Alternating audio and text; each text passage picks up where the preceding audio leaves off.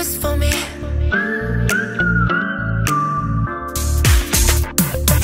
갑자기 내가 사람이 되면 너는 너무 놀라겠지.